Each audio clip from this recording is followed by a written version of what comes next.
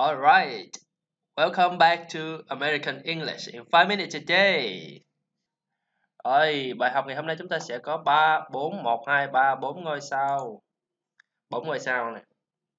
À, cái từ này à, nhiều nhiều nhiều không phải là chỉ uh, các bạn học viên hay sai mà chúng ta học thập phổ thông, kể cả giáo viên, kể cả giáo viên vẫn sai rất là nhiều bốn từ này. À, từ này đầu tiên thì chúng ta sẽ đọc nó là khoan cái biết đâu rồi. Ok here we go. Đây từ này chúng ta sẽ đọc là uh, nation. Nấy là chữ n nè đó. Cái âm a nè thấy không? Âm a là e i. E i nấy sân là chữ sân là wow wow sân đó chữ sân đó có tế của nó là như vậy. Nó hơi xấu tí xíu. Chữ sân Alright. Đó. À, âm nhấn là âm thứ nhất nation, âm nhấn. Rồi, nó chúng ta sẽ đọc là nation. Hình như um, rồi từ này nó không phải chúng ta hay đọc từ này là national, không phải. Trường hợp này nó là âm âm a bằng miệng. Âm a được nhấn là miệng đó, bằng miệng ra đó chữ tượng hình là bằng ra. Ok. Ná. À, nó là sờ ná sân. Nồ n ơ? Này ơ? Nè l là phụ âm chúng ta đem xuống. Đó. Đó là national rồi. Từ này, chúng ta không phải đọc là international là sai nha. Từ này nó có bốn cái âm. Inter, năm âm. Một, hai, ba, bốn, năm. Rồi, chúng ta hãy giải quyết cái thằng này. Ở chỗ in nè ter phiên âm của nó inter. Ná âm e này được nhấn là trường hợp này nó sẽ chuyển về âm a bằng miệng của chúng ta nè. Inter. Ná rồi. Là sờ nè. Công đổi. Sân. Thì cái viết này nó bị làm sao quá ta? Nó bị, cái nó bị, nó có độ trễ hay sao? Nó viết không có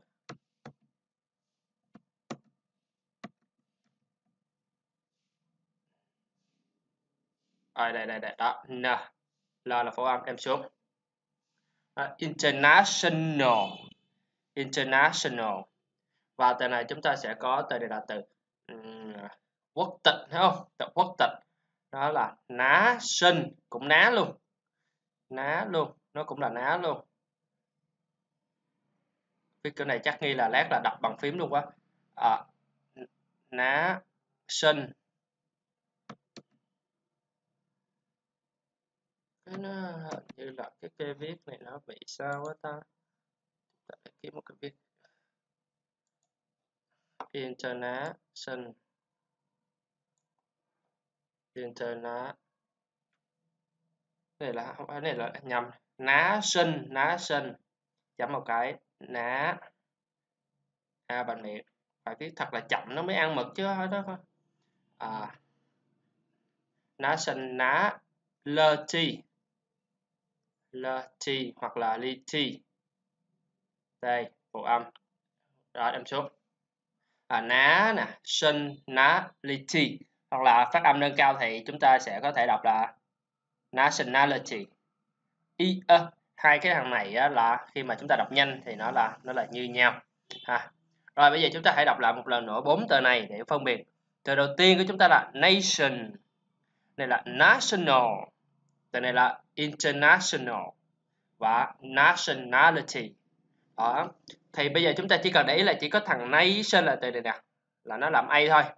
Chưa còn mấy thằng còn lại là nó là ná hết. Nó là âm âm a bành miệng hết. Do đó chúng ta phải bành cái miệng mình ra. Đó bành miệng ra, ná hết. Rồi. Bây giờ chúng ta sẽ có một số ví dụ như sau. Từ đầu, câu đầu tiên là America.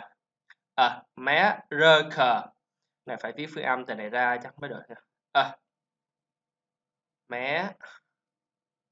R, ơ chưa. À, mé. R, k, đó. Ơ mé. R, k, ơ ơ đó ba thằng ơ luôn.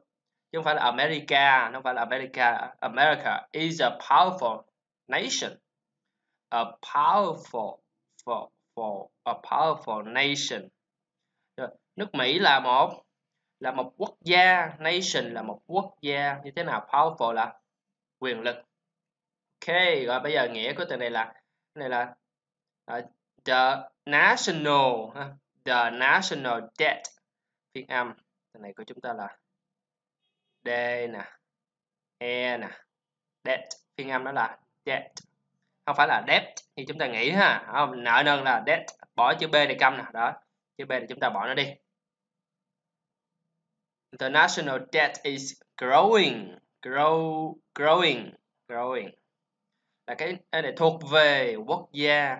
Cái này là nợ nợ quốc gia thì thì đang đang phát triển.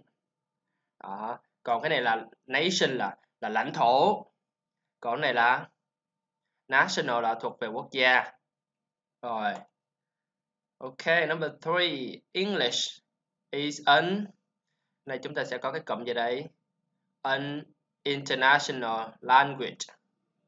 Lần này chúng ta đọc là language.